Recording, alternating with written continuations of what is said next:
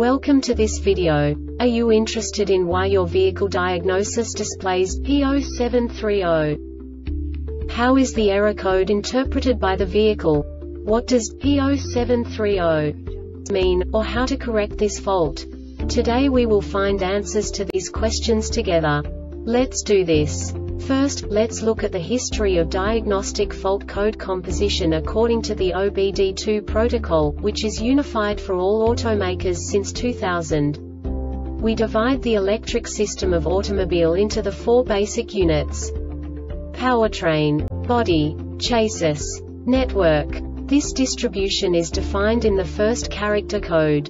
If the second character is expressed as zero, it is a standardized error. In the case of numbers 1, 2, 3 it is a more prestigious expression of the car-specific error. The third character specifies a subset of errors. The distribution shown is valid only for the standardized DTC code. Only the last two characters define the specific fault of the group. Let's not forget that such a division is valid only if the other character code is expressed by the number 0.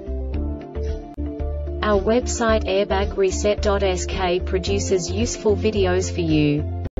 You do not have to go through the OBD2 protocol anymore to know how to troubleshoot any car breakdown. You will find all the diagnostic codes that can be diagnosed in a Buick vehicles. Also many other useful things. The following demonstration will help you look into the world of software for car control units. You unbelievably can move the video a bit further. The error code is split into two bytes consisting of 16 bits. One bit is the basic unit that each computer works with. The bit has two logical states. 0, low level, 1, high level. By combining the first two bits, the basic character of the error code is expressed. The next two bits again determine the second character. The last beat styles of the first byte define the third character of the code. The second byte is composed of a combination of 8 bits. The first 4 bits determine the fourth character of the code. And the combination of the last 4 bits defines the fifth character. A single byte conceals 256 possible combinations. We now know in what way the diagnostic tool translates the received information into a more comprehensible format. The number itself does not make sense to us if we cannot assign information about it to what it actually expresses. So, what does the diagnostic trouble code P0730 interpret specifically Buick car manufacturers?